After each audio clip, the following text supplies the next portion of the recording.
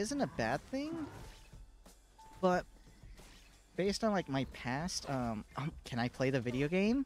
Can I play? can I can I play? Can Can I? Am I allowed? Is it against the law? And he shoots up. That's fun. I'm having fun. That's cool. Epic gamer moment.